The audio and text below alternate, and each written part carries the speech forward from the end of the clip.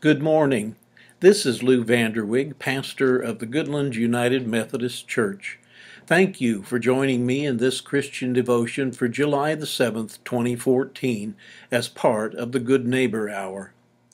I would like to begin our time together this morning with a passage of Scripture from Matthew 9, verses 35 through 38. In this passage, Jesus talks about a plentiful harvest. Jesus went about all the cities and the villages, teaching in their synagogues, and preaching the good news of the kingdom, and healing every disease and every sickness among people. But when he saw the multitudes, he was moved with compassion for them, because they were harassed and scattered, like sheep without a shepherd.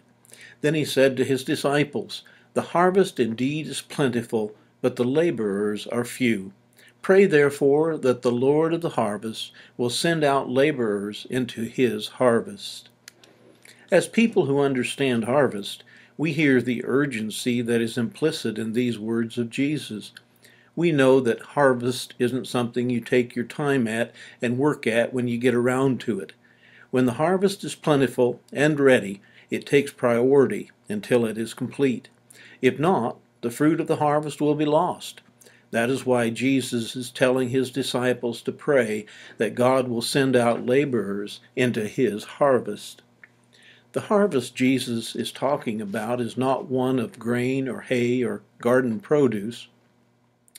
It is harvest of human souls, a harvest of deliverance of the harassed and scattered and those lost and wandering like sheep without a shepherd. The harvest Jesus talks about in Scripture is still ripe and ready today. As Christians, we are the laborers that Jesus is sending into the harvest.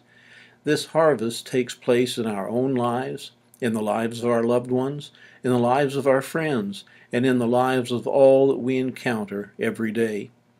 Like the harvest of a field of grain, we know that it is successful by the fruit that it bears. The Apostle Paul tells us in Galatians 5, verses 22 and 23 that the fruit of the Spirit is love, joy, peace, patience, kindness, goodness, faith, gentleness, and self control. These are the fruit of salvation. The seeds of this fruit are planted, tilled, watered, and grown by God's grace. As laborers in the harvest, this fruit is made real by the way we live our lives together.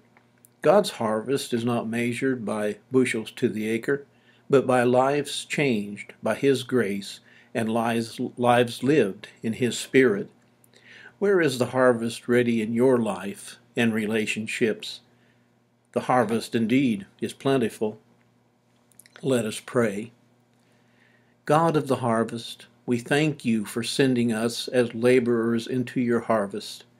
Help us to harvest the fruit of your Spirit of love, joy, peace, patience, kindness, goodness, faith, gentleness, and self control in our lives and in our relationships with others. In Jesus' name we pray. Amen. On behalf of the Goodland United Methodist Church, this is Pastor Lew Van Der Wege wishing you a good day filled with the grace and peace of our Lord Jesus Christ.